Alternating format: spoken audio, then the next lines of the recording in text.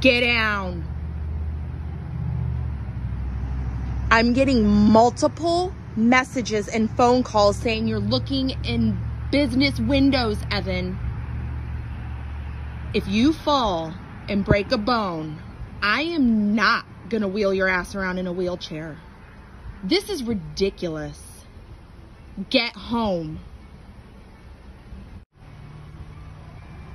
You are such an idiot. God. Get down. Well, that's how we got up there. Guess I'm gonna have to start hiding the damn ladders.